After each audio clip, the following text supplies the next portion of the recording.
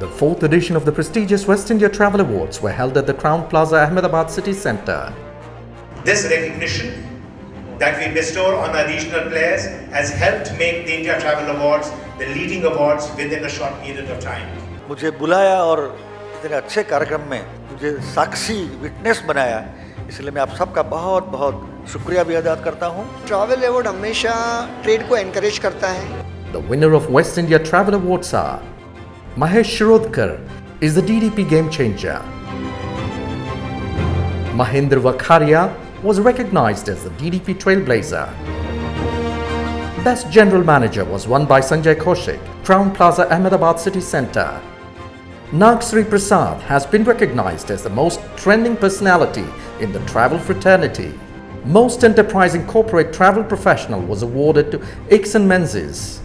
Cox and Kings was recognized as best experiential tour operator.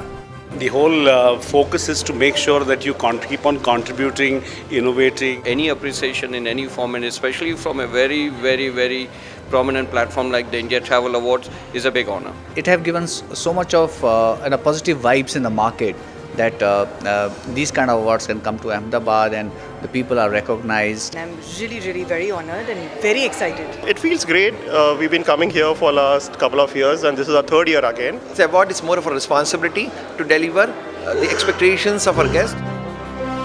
Best Global Distribution System is Travelport Galileo. Best Casino Hotel, Deltin Suites.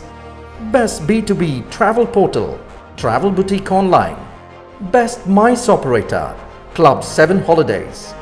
Best Adventure Destination, South African Tourism. Best Customized Tour Operator, Xtreme Destinations. Best Business Travel Agency, Nextourism. Best Foreign Exchange Aggregator, FxKart.com. Best Wedding and MICE Hotel, Crowne Plaza, Ahmedabad City Centre. Best Tour Operator, Napolitan Travel Agency. It's going to help us in a lot of ways in terms of growth into this business. It's an absolute honor.